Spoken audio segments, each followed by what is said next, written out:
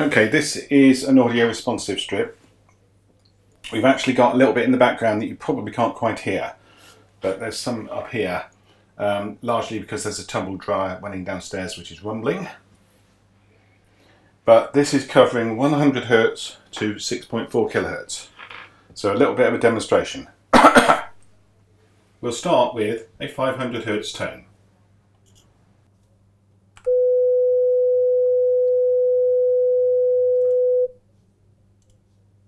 One kilohertz.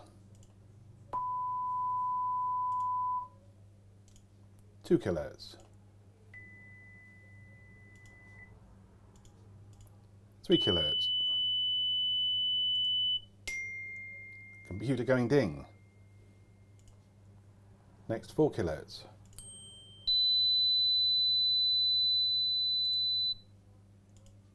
Five kilohertz.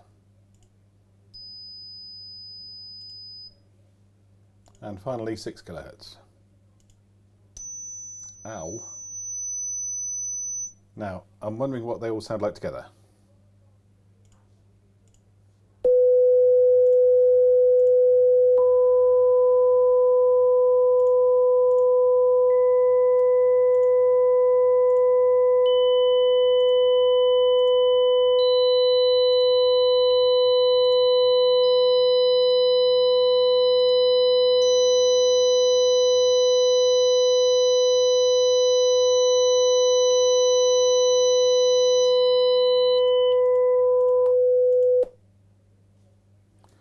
Okay, that was um, interesting.